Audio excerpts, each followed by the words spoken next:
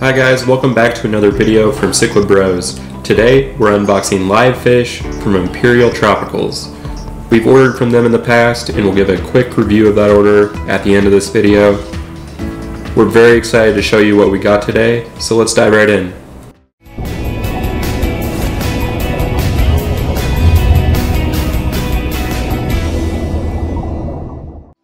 So we just got the shipment in about 10 minutes ago from Imperial Tropicals.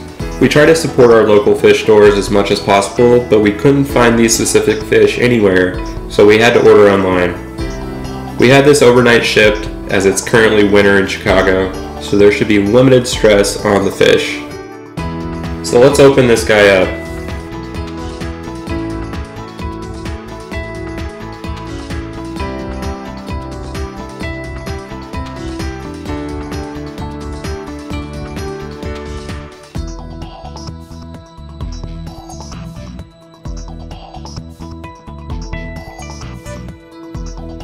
So when you open this up, you'll see that the package is in a styrofoam box.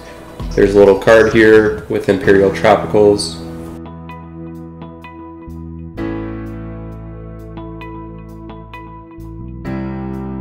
And then when you take off the styrofoam lid here, you'll see that they packed this firmly with insulation foam, as well as a little heater wrapped up in newspaper.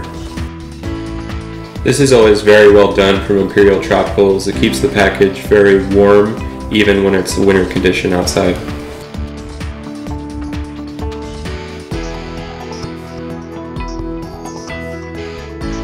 And now we can start taking out the insulation foam and get these fish out of the box.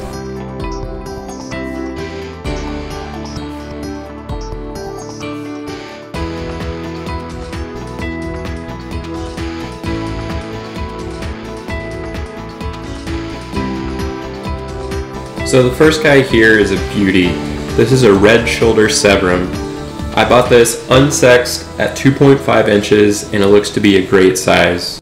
I just love Severums since they get so big and colorful, but they aren't too aggressive.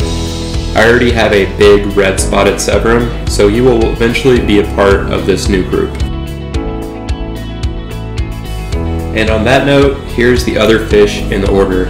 This is the turquoise Severum, or Heros fasciatus. I bought this one as unsexed at 2 inches long, and he does appear right around that range, so I'm happy with that. If you aren't familiar, you typically pay more the larger a fish is, so I'm happy I got what I paid for in that regard.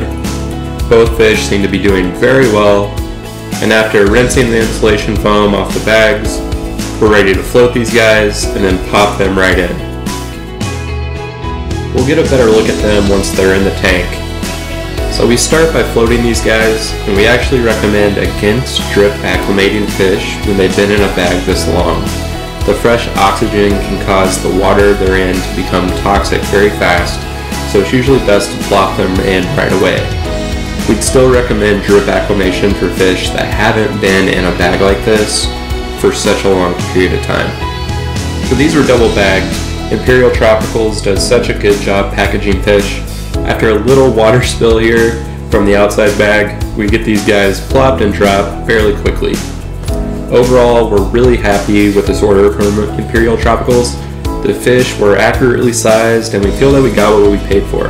It did take a few days for them to ship this out, as they typically quarantine fish a few days before sending.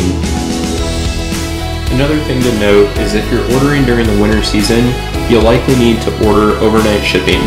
I was happy to do this to keep the fish less stressed, and with all the costs considered, we feel like we got great value through Imperial Tropicals, and we would recommend them for anyone else. When adding new fish to a tank, we would recommend using Seachem Stress Guard, as this helps the fish acclimate with less stress. So here's the red shoulder Severum. He seems to be doing very well, and we can't wait to see him grow up and mature. And here's the turquoise Severum. He's already eating, both fish are. They're eating on the first day, seem very healthy, and are just eating a ton.